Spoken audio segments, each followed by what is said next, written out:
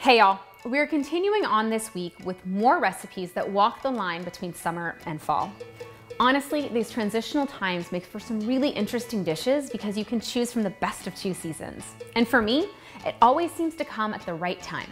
Just when I'm starting to get a little bored with the flavors of one season, the ingredients of the next season help to bring life back to the plate. This week, your recipes include a frittata with tomatoes and artichoke hearts, ground turkey sauteed with celery and turnips, Mediterranean sea bass with pesto and broccoli rabe or baby broccoli, depending on what you can find, curried ground pork with apples and onions, and an apple, kale, and fennel salad. Let's get you prepping.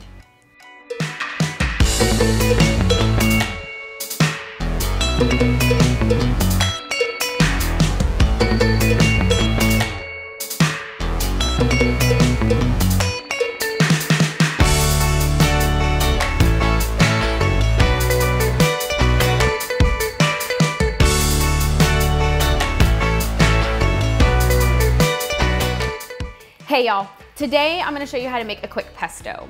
So most pesto, traditional pesto has cheese in it and you may not be someone for whom cheese is really a great option or a good thing to do regularly and you might be looking for a version without the cheese. So that's what this is. It uses all the other normal ingredients for pesto. You're gonna have basil, pine nuts, um, garlic, lemon, olive oil, salt, and some red pepper flakes. You don't have to have the red pepper flakes. I just like things a little spicy. Throw all those together in a food processor and puree until smooth. That's really it. Very, very simple.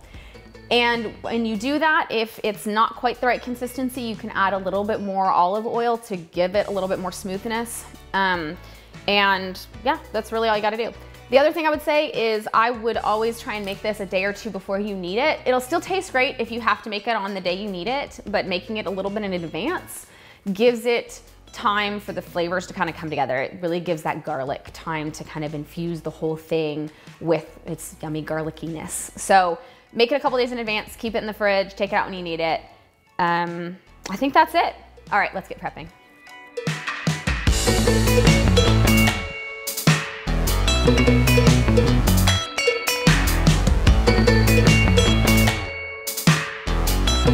you.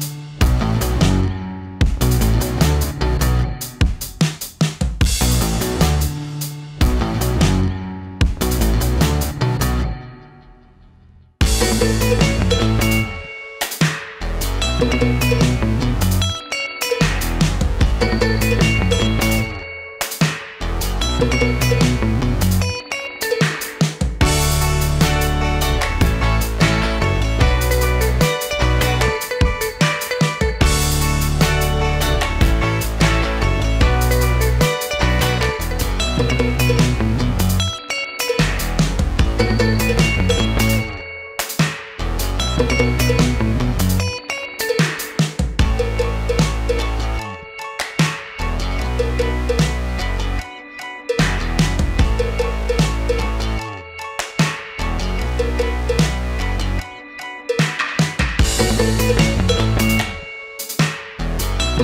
you.